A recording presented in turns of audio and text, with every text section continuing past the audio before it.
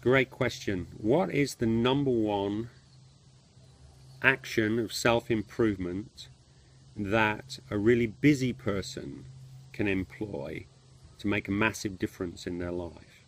The number one thing. Well, I would say honestly, it is a combination of uh, a particular specific equation. Number one is the breath. You have to be able to stay anchored in your breath.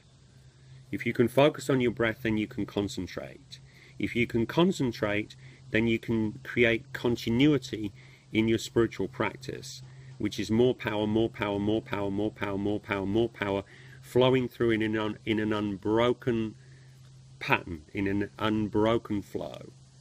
If you don't have continuity because you can't concentrate, you, every time your mind changes its perspective, every time your attitude shifts um, and your awareness, it's going to break that continuity. So the power is going to be broken up, you see? And it's continuity, consistency, constancy that, that really makes you powerful. Um, it's not it's not some mysterious thing. It's it's like an equation.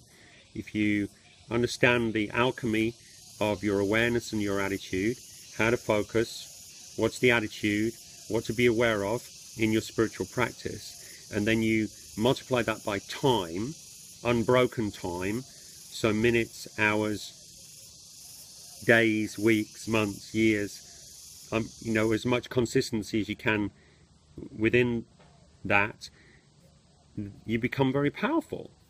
That means you become more and more peaceful, life becomes more and more synchronistic, you live in more and more grace, everything becomes a little easier and magical and wonderful, how it's supposed to be.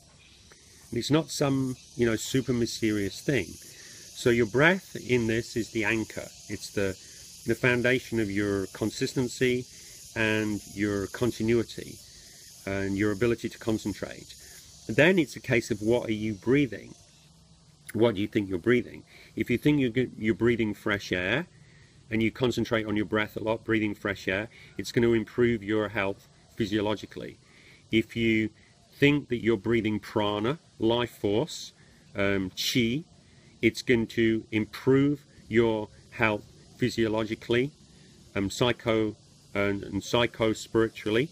Um, it's going to energize you but if you know, emphasis on know, if you're certain that you're breathing the power of God, that you're breathing the Holy Spirit, that you're breathing the Spirit of life, that what you're breathing is the juice, the real stuff, and you're breathing that with certainty, that's a whole different deal.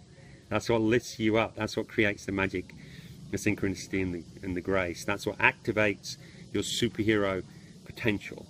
So breathing concentration, focus, nizche, that's the certainty, the faith, with an attitude of awareness of the fact that you're breathing the living truth, the living spirit, the living God through your soul into your physical world, and then radiating out um, compassion to others, shining, like Hafiz says, holding your heart like a life-giving sun, radiating that goodness out into the world. That's the that's it in a nutshell right there. Enjoy your busyness.